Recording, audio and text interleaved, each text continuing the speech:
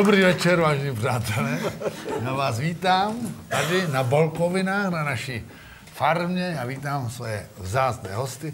Musím samozřejmě a rád poděkovat sponzorům, a sice Hamé Babice z Babic, Starobrno z Brna a Žempo Holubek. Děkujeme.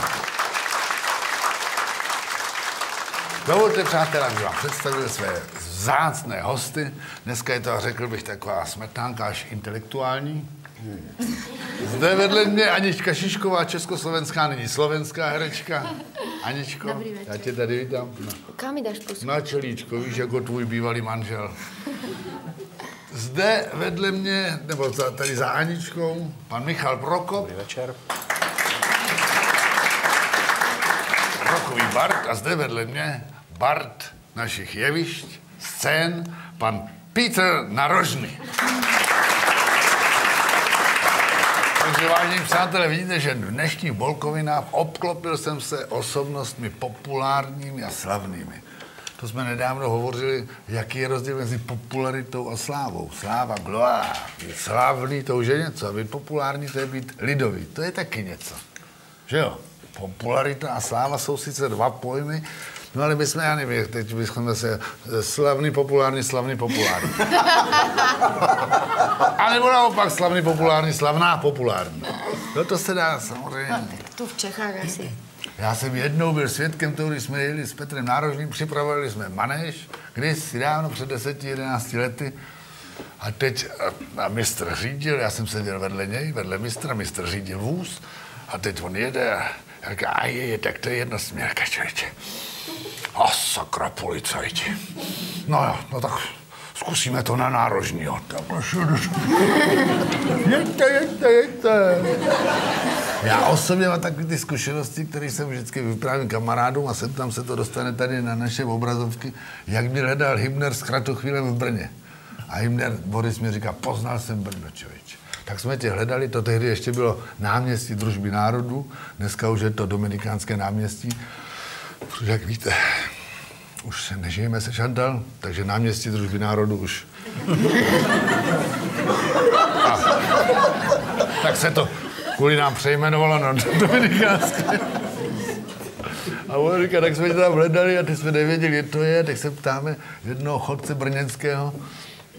A kde je, prosím vás, náměstí družby národů tady? A on říká, a koho tam hledáte? On říká, no, Bolka Polivku. A co mu chcete? Říká, pochopil jsem Brno. No Aničko, drahá moje manželko, my jsme spolu tolik věcí prožili za jeden měsíc. My jsme žili před válkou, bylo nám dobře, potom jsme žili ve válce, to jsme strádali, potom jsme potřebovali dítě, v tom musíme si pomáhat. Mali jsme Měli dítě. jsme dítě a potom končím s tím kočárkem, jako s tím dítětem. Já už jako starý čížek se projíždím. Taky už jsem teď ve věku, člověče. To, není to tak dávno, co jsme to točili. A mě, představ si, už začíná táhnout na pátý děcko.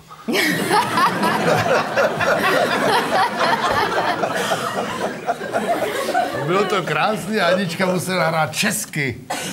Čeština pro Slováky je složitá řeč. Tak pokúšala Že som sa to čo najlepšie zvládnuť a ty si mi musel pomáhať.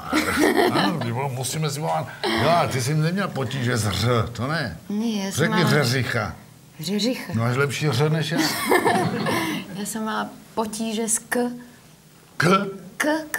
k, No, k. k. K není těžký slovo. No pre mňa hlavne v slove deky. Nevedela som povedať po česky deky. U nás sú tiež deky, ako množné číslo od deka je deky. Ale my hovoríme deky a vy hovoríte deky. Ja, de, no, Deky. no, no, no, to. No to ma No tam že- opravovali asi 10 krát, že sa prezradím. Ale že to můžeš je- vždycky, vždycky z toho můžeš nějak vybruslit, vyplout, máš labuda zrovna, teď jsme se už po druhé na ně vzpomněli. Doufám, že je mu dobře, doufám, že je ti dobře, Mariane. A on říkal, aby se vyhnul tomu ř, protože ještě začal jako jo, Čechoslovák, přijel do Prahy, tam něco hrál a neměl ještě to ř a chtěl si koupit tři rohlíky. A on říkal, tak jsem to vyřešil, říkám, dejte mě dva rohlíky. Jo, a ještě jeden. Ale nepomůžeš si, když chceš uh, uh, opravit jako tu slovenštinu a uh, máš pocit, že ti Čech nerozumí, tak to opravit. Já jsem vojákoval na Slovensku celý dva až čtvrt roku a nadporučík Bučko z Trnavy přijel a dal poplach cvičnej na rotě v Píšťanech a ten poplach nedopadl dobře.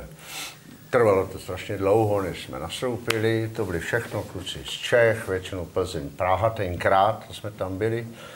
A když eh, to tam nastoupilo, ty, ty lidi, a teď to bylo všechno tak evidentně špatný, ten byl v bačkurách, tomu vysel bandalír, ten byl bez kvéru a, a on se na tu rotu díval takovým nepěkným pohledem, a byl to Slovák, tak chtěl říct, původně měl v úmyslu, chtěl říct, že když není na rotě on, že je na rotě bordel. Jadrně se na vojně mluví, tam to nevadí a řekl jenom první půlku té věty. Keď jsem tu na něje, a teď se podíval po těch lidech a teď viděl takový to, tak řekl, tak jsem tady není. to jako hodně přeložil. Není to dobrý dovysvětlovat, no.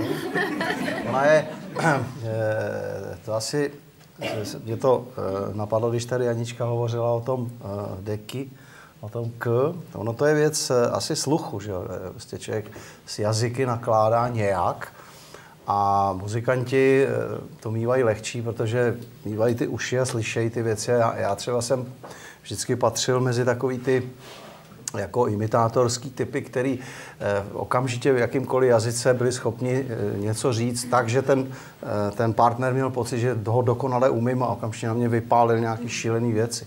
A tak jsem takhle, eh, ono to vlastně začínalo už, jako když jsem byl malý kluk, já jsem měl učitelku ruštiny, eh, to byla ruská, a tam mě vždycky říkala, Prokopě, vy máte výbornou vyslovnost, ale vy nemáte co vyslovovat.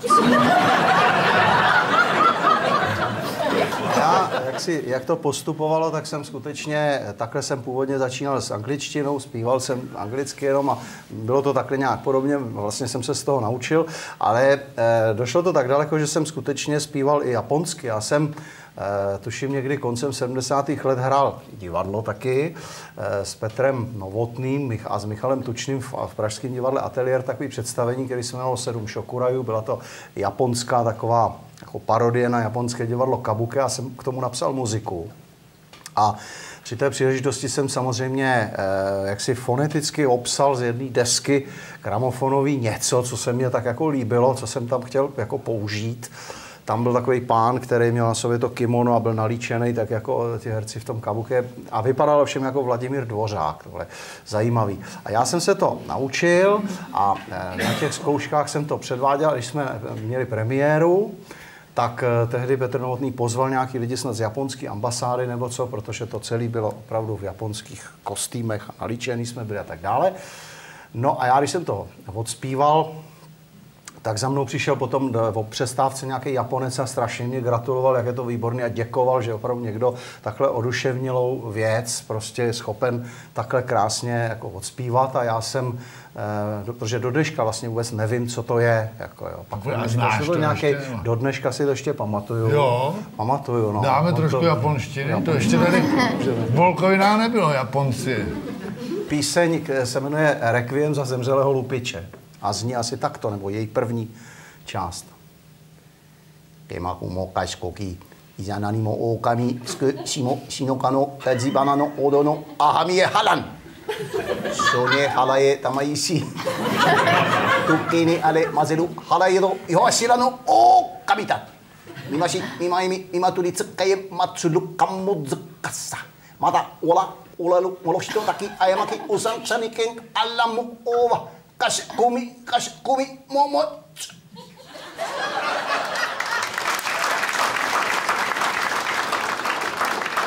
A já se vrátím tady ke své filmové ženě. Co my jsme za ten měsíc spolu všechno prožili a užili? Předválečnou dobu, kdy jsme byli docela bohatí, že jo? Mm. Potom přišla válka, my jsme strádali, bylo nám smutno, že? No. Na mě se stále vypitovali na Slovensku, že no aký je ten bolek, aký je? Tak já jsem hovorila pravdu, že... Některé aký to vědí.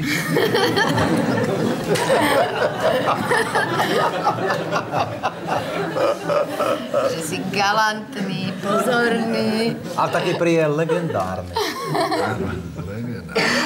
A potom jedna novinárka sa ma tak spýtala, že no, tak keď vám hral toho manžela, že chceli by ste takého manžela, že bol by dobrý manžel? Ja hovorím, tak ja si myslím, že je dobrý manžel, môže byť, je veľmi milý, nerozčuli, nikdy sme sa nepohádali vlastne, žiadny rozpor tam nevznikol.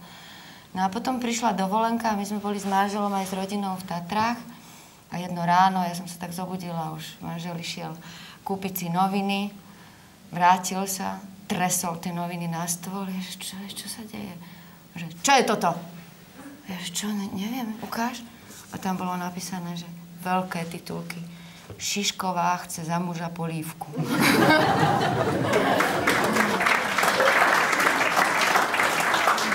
Tak vážení přátelé, já bych poprosil, máme tady Michala Prokopa a máme tady také legendu české muziky, Honzu Hrubého, on nemá rád, když říkám legenda, protože mu to připadá takový málo být legendou. Nebo moc. My vám zahrajeme píseň Tklivou, která vlastně už má 20 let. My jsme ji spolu s Honzou vlastně natáčeli v roce 1983. Je to vůbec možný? Je, že?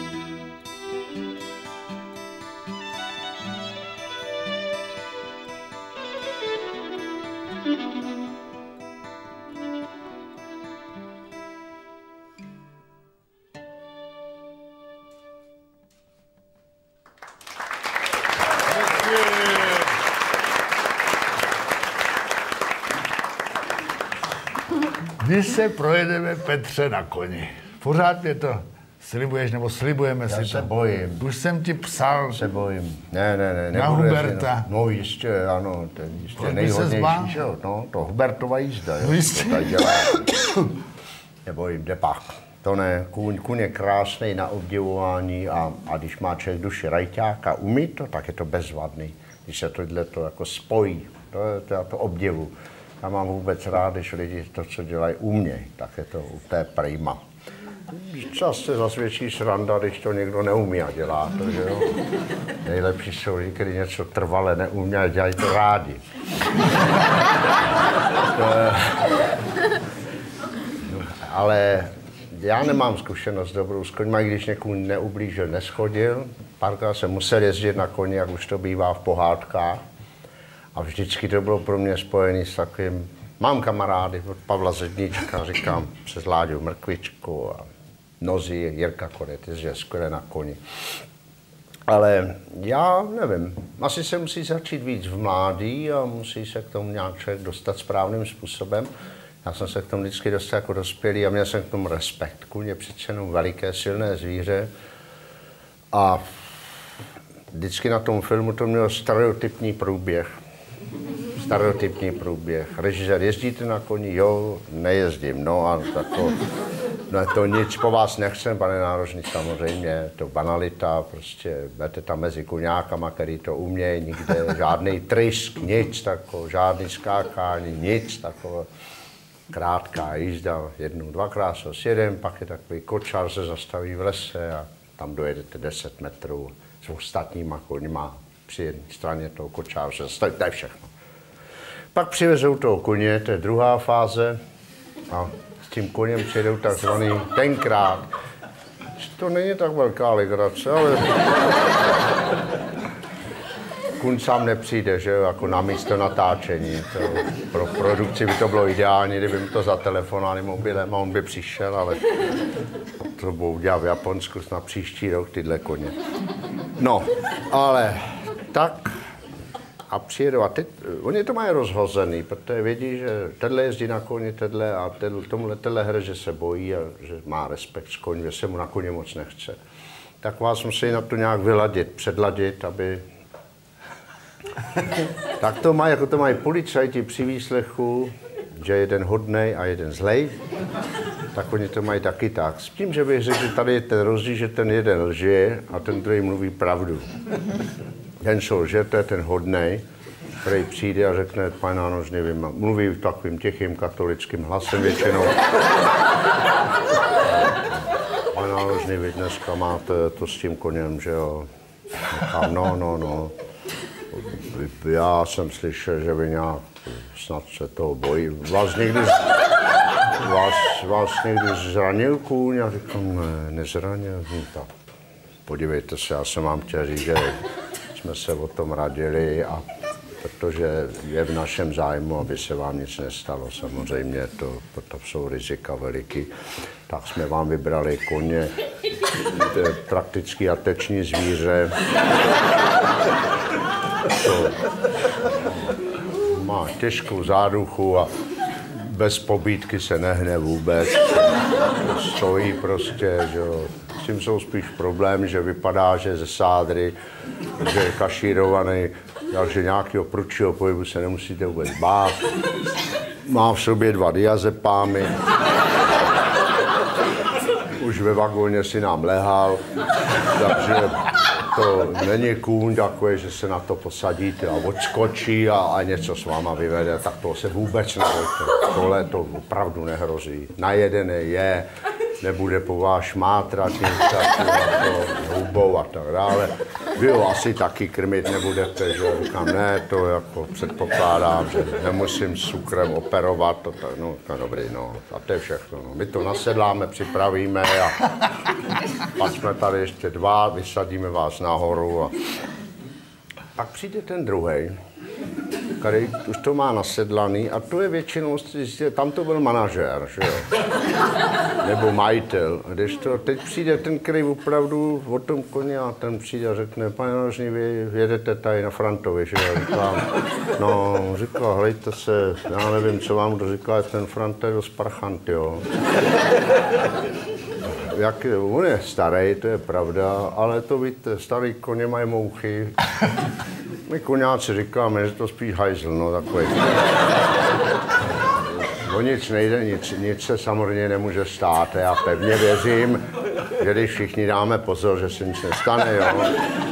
Ale pět takových pár dobrých zásad, na to si dejte trochu, nechoďte k němu ze zadu, prosím vás, ze zadu, ne, ne, ne, to, to, to, ale asi víte se ke koniu vůbec, a když tak mluvit, mluvit, mluvit, ale on, on, on zas blbě slyší, takže i když mluvíte, on sekne, rozumíte, a to je 630 štychů a máte slezinu.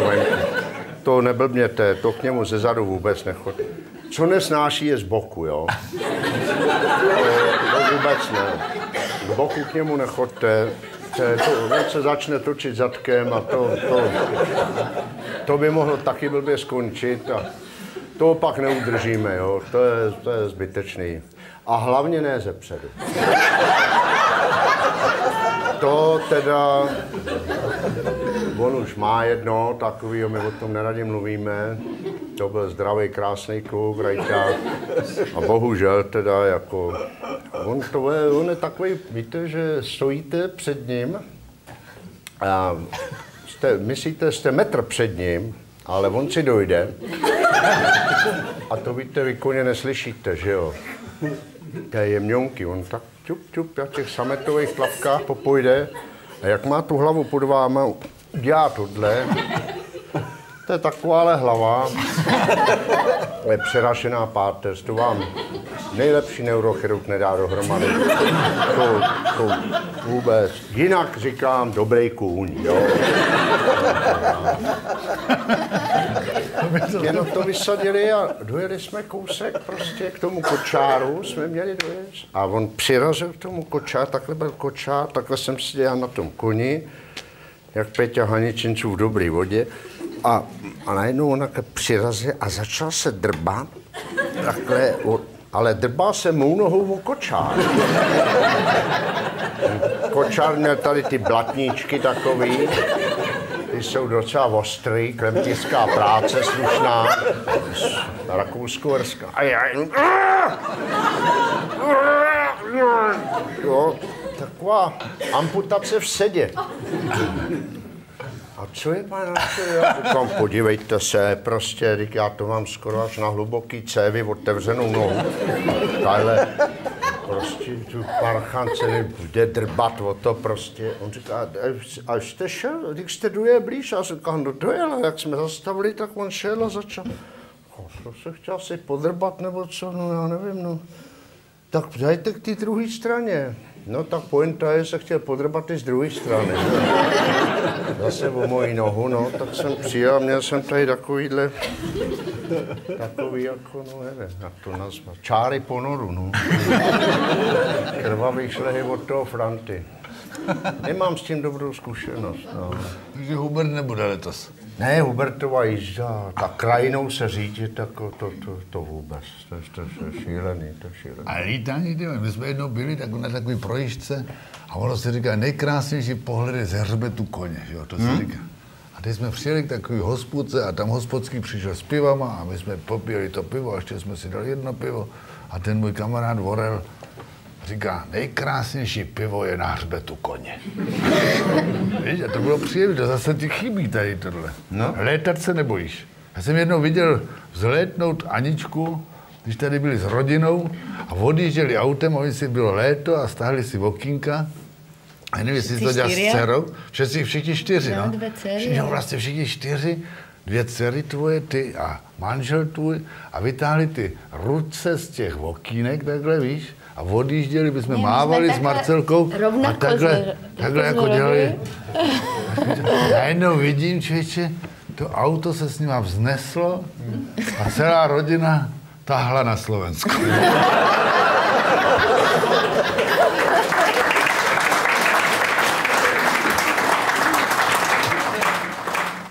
Létání se, ty jsi pilotoval někdy, nebo teď hodně lidí to pilotuje. Hodně lidí pilotuje, no, teď o tom čtu každou, To máš někdy takový díl z týden. frontového pilota. Každý týden čtu o těch, co se rychle naučili lítat. Ztratili vládu nad letadlem. Neznámých důvodů. 51-letý podnikatel odstartoval a nedaleko pole u Malešic. Jo, to je vždycky to fort, no, to jsou ty, co mají ty kurzy takový za týden. Kdo se naučí lítat v 60 letech, no tak to už dělat nebudu. Já mám strašnou zkušenost. eh, Já jsem neprožil nic v dopraváku ošklivýho. Nebojím se v dopraváku, tam jsem taková ta posádka jako odhrabala. Vždycky říká, Boeing zařvala, cestující nasadili filozofický výraz. To se vždycky rozlížím po těch lidech. To mě dělá docela dobře vždycky, když jako se popojede a teď se už stojí na té runway a čeká se, až jako to pustí a tak a teď jako to od, odbrží a teď je tak se vždycky tak rozlížím a vidím, jak ty lidi jako Míče se Schopenhauerem. Jenom ty děti, které jsou hloupí, tak ty... Ty rodiče jako se na sebe dívají, i takový ty manželství před rozsypáním se chytnou za ruku.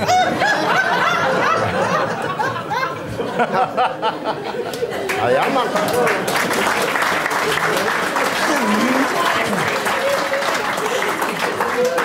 Já jsem prožil zkušenost takovou, že jsme dělali s Pepou Abrahamem v hluboké totalitě, to byla taková povinnost, divadla nebyla družba, tuším s Otrokovicemi, tak jsme tam dělali MDŽ, byli jsme na dvou takových besedách ve škole a potom nějaký továrně.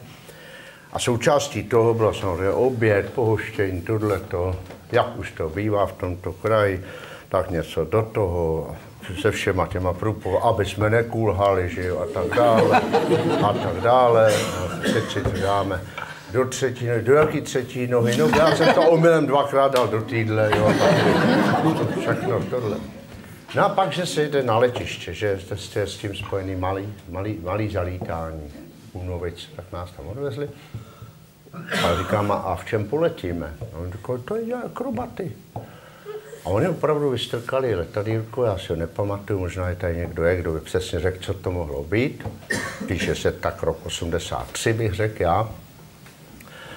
No a byl to ten cvičný akrobat, jak se instruktor sedí vlevo a vedle něj, prostě vedle sebe, sedí ten žák, nebo to, kdo se učí s tím tuplovaným řízením. Kdo poletí první? Pepa je galantní člověk, no tady Petr poletí, ale tak je starší, že jo. Jo, samozřejmě, proč bych naletěl. A letěl jste, letěl jste někdy v malém letadle a pán, jo, letěl v Čmeláku a po válce ještě ve Štorchu, já jsem strašně starý. A to vy zase nepamatujete, to je čáp český a jo, tak fajn, dobrý, a jsem se posadil. A, a teď vidím, že tam vylez takový chlap v monterkách na to křídlo a mě jako že jsem si neset jako do podlního sedadla, sice, ale že mě kurtuje takovým zvláštním, speciálním způsobem. Tady pásy a tady, a tohle. A vydechněte se. A teď no. Prosím vás, počkejte člověče, to, tak letím na, na vyhlídku a ani nedodechnu. Jako. No, tohle je to lepší, víte, a tamhle by tam foukalo. A pak přijel na kole takový usměvavý malý pán, který už vůbec nevypadal jako pilot. Vypadal jako takový, že to docela příjemný člověk v, montérkách, na kole, až k tomu letadlu. Řekl, je, pan měl rádiovku, na, pane narožený, tak letíme spolu, to je fajn, pojďte a tak. A srdci vedle a tak letíme, pojďte, to je prima, máme hezký den, byl opravdu takový krásný den březnový. Odstartovalo to a to odstartuje doslova na pár metrech ten akrobat, má to strašně silný motor, malinký křidílka, aby to tu akrobaci mohl. Ja. A jsme odsa a vylítli jsme. A on tak furt takový, ty oči, furt tak se na mě díval. Ukaž, jak? Ukaž, že by byl pilot. Tak Se na mě díváš takhle, když zvedám panák. Tak si mě testoval, jako je to a, to a já jsem si říkal, to je takový tady, a to byl asi nějaký takový ten kanon, co tady s tím lítá. Pokusím se ho rozpělit nějak tak jako vlastivědným způsobem. Tak vám, já to tady znám, tenhle kraj, to já znám dost historii Tomáše Pati, vím, že se zabil tady ve 22. s velký, velký šéf na Bahňáku. Povedal, je, to vám můžu ukázat to místo, to, to jsme tam hned, a to, jestli to znáte, jestli vás to baví, jak to aspoň víte ze mě ukázal. A má Abrahamovi tady měli cihel, no, to tadyhle, no, to jsme, od tam tu jsme de facto této, tak jako to. A furt na mě, a pá, neuděláme něco? A pá, on říkal, aha, tak teď pustil barvu, ano. Vám ne nic, to vůbec, to, je to hezká prohlídka, ještě bychom mohli nad lesních zbytov, prostě ten je taky hezký, tam vím, kde má Baťa hrob. A on říkal, pojďte něco udělat. Říkám, ne, nic, nic, nic, nic, nic. Ona jen, "Hm." a letěli jsme hlavou dolů. Furt řídil a furt na mě koukal. Obrátil a teď začal dělat takovou tu normální, řekl bych, základní akrobatickou, tu, to je něco příšerné. Pro necvičeného člověka furt na mě koukal. On řídil a přitom furt se stačil na mě usmívat vždycky. A teď uděláme tohle a, a tohle je. Nej, no, nejstrašnější bylo jsme letěli nahoru a takhle se odpadne na záda, když se ten motor skoro zastaví a takhle to padne na záda. No to je, to je šílený. Dolů jsme letěli, dolů, ta zem se blížila. Já koukal na ně a jsem říkal, jestli se ten chlap zamyslel. Prostě,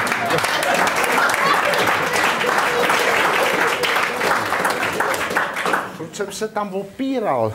Tom letounu prostě on říkal, pane nárožní, neopírejte se, jsme ve vzduchu. Nedržte se. A do toho se neustále ozývalo zvonění. Trr, trr, trr. A zase 10 vteřin nic, zase trr, trr. A kdykoliv se ozval, tak to oni dělají všechno strašně rychle, prostě takový ty, ty manévry, prostě to, těma nohama, furt prostě, že jo, vždycky tam něco vykopal, se jsme, co jsme. A já, eh, tý zoufalý snaze prokázat, jako, že, že jsem taky machr, že jsem trochu jako znalej, tak mám to zvoněj z věže. A Pane, pane nárožný, to nezvoje z věže, to je tady takový zařízení, který nám hlásí, že jsme před pádovou rychlostí. Tak si všimněte vždycky, že ještě předtím, skoro než to zazvoní, jak něco uděláte, kdybych nic neudělal, spadnem dolů jako kamna. tak to bylo takový prima. No, přilítli jsme, přilítli jsme, vystoupil jsem Abram Poda, já jsem myslel, že jsi byl v Moskvě. Odlít nárožný a vrátil se Lenin. Opravdu šedo, šedo bílej, zeleno, ne bílej, křídově bílej, i ty profily se změnily. Já nemám kulatou lepku, ale prej byla daleko delší. Tady, tady ta, ta, ta tkáň se propadla. Tohle. Takže kdyby na mě hodili deku, tak se možná už lidi řadili do frontu k Mauze.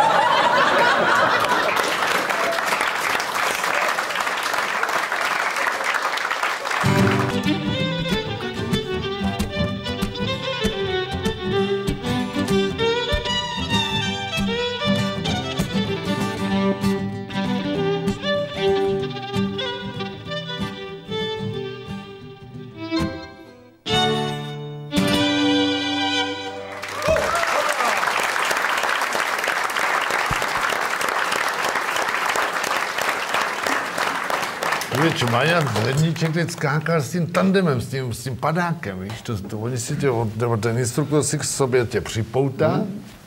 teď se musíš naučit, jak, jak se drží a to já jsem u toho byl, když ho tam kšíroval, když ho to učil, co má dělat, který pohyby a říkal, když uslyšíš, Pavle, dvakrát tu pojistku, tak je to dobré, když to vidíš třikrát, no prostě, když to uslyšíš čtyřikrát, tak padáš a já už tě nebudu zachránit. Ale to doufám, že se nestane. Ale pro jistotu, Pavle, musím ti říct takovou instruktážní, takovou maličkost. Když by spadal náhodou sám, takhle rozpře, rozpřáně ruce. Ono to ničemu moc nepomůže, ale abychom tě líp našli. tak tady tímhle pesimistickým eh, zjištěním nechci skončit, až For mám.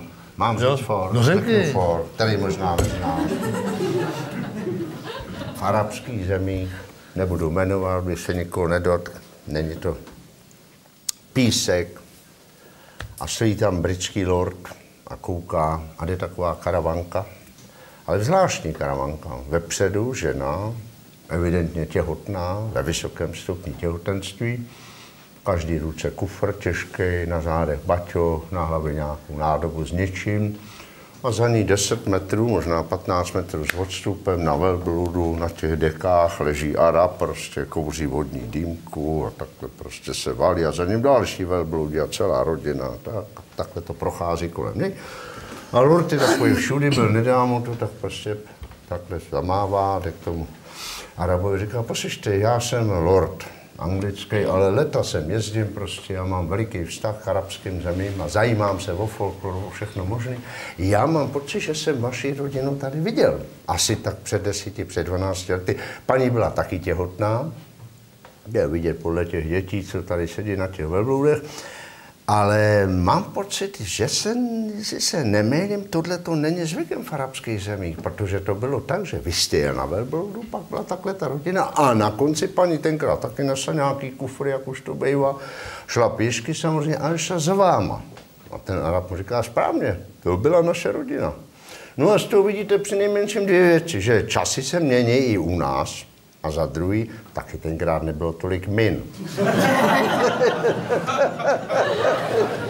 Přátelé, pomalu náš pořad se chýlí ke konci. Já bych se zmínil o té relativitě a já si vzpomínám na takový, jak bych řekl, velmi precizní for o tom, co ten čas vlastně znamená, co je.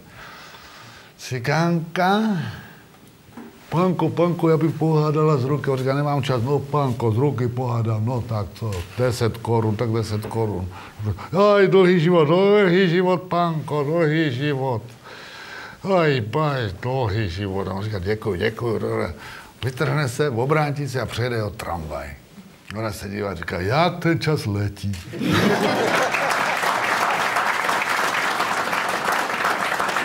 Vážení přátelé, dnešní bolkoviny končí.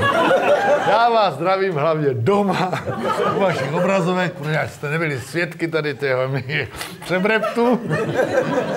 Já vás zdravím ještě jednou doma, u vašich obrazovek. Děkuji vám všem, že jste se tady sešli.